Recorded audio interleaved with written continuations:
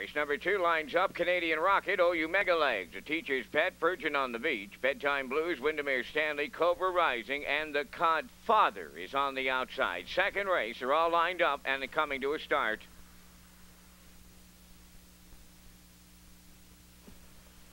There they go. They're off and pacing. Virgin on the beach is leaving out alongside his bedtime blues. Then up the rail, Canadian Rocket is third into the turn. Windermere Stanley goes fourth. Coming up fifth is Cobra Rising. Then six is OU Mega Legs. Seventh around the turn. That is the Codfather and a teacher's pet. He may have made a break here at the start. He's a gapped out trailer. Going to the opening quarter mile and on the front end, Virgin on the beach. The post-time favorite for use by two. Second up the rail is Bedtime Blues, racing from third. That's Canadian Rocket. Fourth up the rail is Windermere Stanley, 29. And two is a sitting up quarter today. Racing around the turn, it's all Virgin on the beach here, driving away.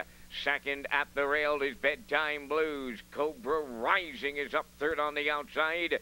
Now fourth at the rail, Canadian Rocket. Pacing from fifth is Windermere Stanley, the Codfather in sixth. OU Mega Leg seventh, and the Triller. That is a teacher's pet. They move past the half. It's up in a minute. And four. And Virgin on the beach rolling along, going to five eighths as the leader. Bedtime Blues second. Cobra Rising on the outside for third. Fourth at the rail, Canadian Rocket. From fifth on the outside is Windermere Stanley. The Codfather's well back seventh. OU Mega Legs, and a teacher's pet never got into it today. Going to three quarters, Virgin on the beach, still the leader and alone on the lead. Cobra rising from the outside. Bedtime Blues at the rail. Three quarters in 132 and 2 as they move round the turn for the final time. Virgin on the beach, clear on the lead with an eighth left to go. And they're in a slugfest. I mean a slugfest in behind them.